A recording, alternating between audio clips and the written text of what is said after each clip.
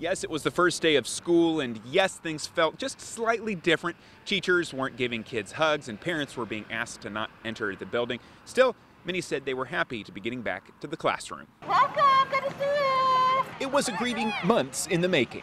Morning, girls. You ready for this? One that was overdue not just because of summer, but because of something else a nasty, invisible virus that shook up school last spring.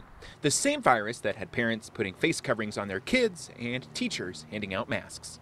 I'm glad you're here. Yes, the Post Falls School District is back at it, including Prairie View Elementary. The school district is starting the year under their orange category, meaning students are in school on some days and learning from home on others. At school, the kids were asked to keep their distance from one another. I just keep telling the students, I've got a hug waiting for you in 2021. The safety measures certainly impacted parents too, who were being asked to not go inside the building.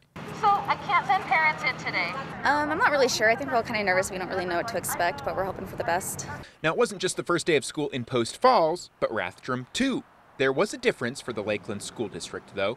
That district is starting off under a yellow category, meaning kids are in classes five days a week. That category includes recommended face coverings and a one hour early release. Outside Lakeland High School, the traffic was picking up on Tuesday morning, a reminder that school was here once again.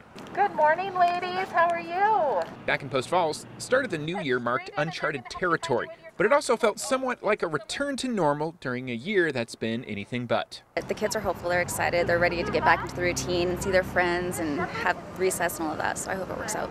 We love our students, they love our staff, um, and, and we just can't wait till the, the regular high fives and fist bumps and hugs can come back. The Post Falls School Board is slated to meet next week. The district superintendent tells KREM board members may discuss changing the district's operating category at that time. In Post Falls, Taylor Viydo, KREM